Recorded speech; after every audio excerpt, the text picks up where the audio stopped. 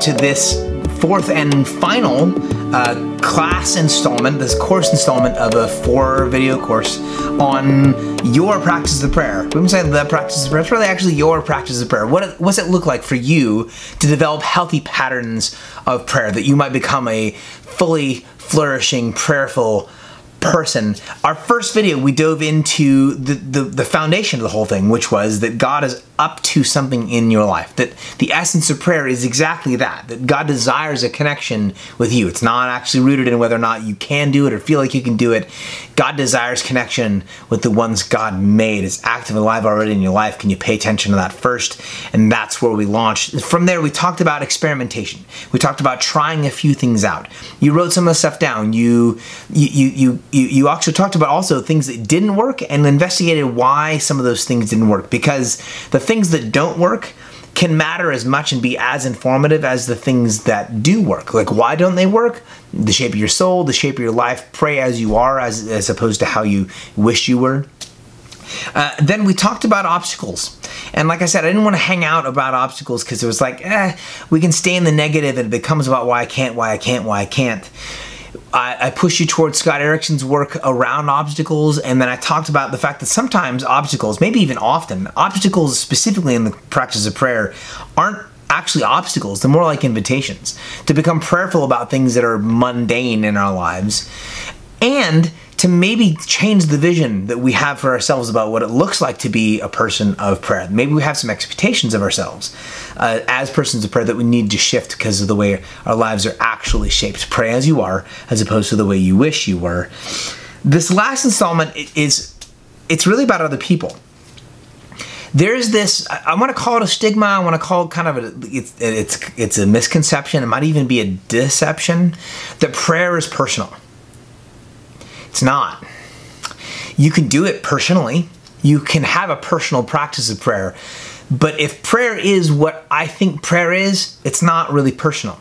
It's deeply and fundamentally and ultimately communal. Because if you are changed in a relationship with the divine, It'll change the way you spend your time, your money, your energies. It'll change your relationships with other people. You'll become a different human. And if you're a different human, maybe a better human, then as a better human, loving better, more richly in, uh, invested in the lives of other people, you've impacted the world around you. And if that's the case, then maybe those folks should know why it is that you've changed and are the person you are now. Prayer is not personal.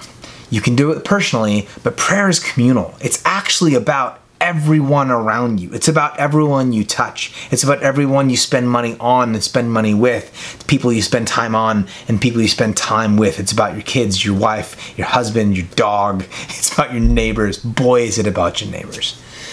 So, let's talk about prayer as a communal practice. A couple ways I want to get into this. One is uh, as a, a way to consciously practice prayer as a communal uh, make a list of people that you want to be praying for regularly. This might already be a thing you do. You might regularly already like, I pray for so and so. Cool. Write it down. Take your journal the, the journal. Here's my journal. Take your journal and write those names down. The way I do it is I literally, I just, I, I, I, I sometimes don't, I don't even like have like specifics, but I'll like, I'll write down my mom's name. Her name is Catherine. I'll write down my mom's name. My mother-in-law is Monica.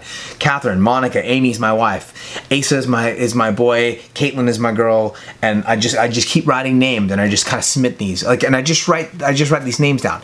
So make your list as in, here's one practice. Make a list of the people, short or list. Don't make a big fat monster list. Who the people come to mind, like off the top of your head. It might not be a super long list. And then tell them. Tell these people you're praying for them. May, and and you might be on the other side of this screen right now freaking out like I'm not that's super weird.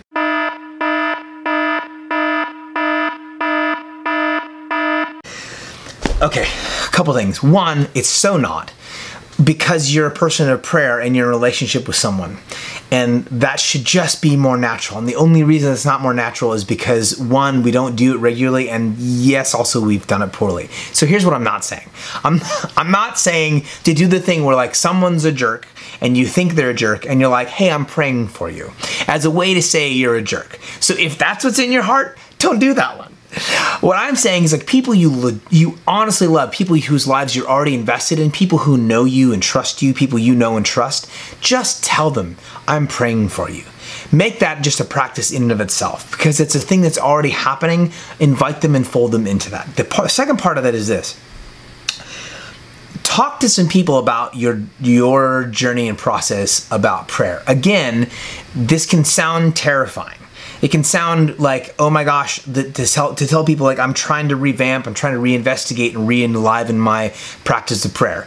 It's so not terrifying. Well, maybe it's terrifying, but it shouldn't be, and here's why. Because the world around you is dealing with the same stuff. I watch it all the time. I see it in the lives of people in my own congregation. I see it in my own life. That when I say out loud, this is hard for me, I'm having a hard time, the folks around me go, me too. I hear that. And then they pay attention. If you're on a journey right now, and I think you are, if you're in process trying to rediscover, reinvent, like like reconnect with God, the folks around you would really benefit from hearing that from you. It might free them to set out on their own journey and enter into their own process. So, one, make a list of the people you want to pray for and tell them that you're praying for them. Two, talk publicly about your journey, your practice of prayer. That might just be like a couple people. It might just be your your spouse, your your boyfriend, your girlfriend. It might be your best friend, your dorm roommate. Like it don't. It might just be something super small.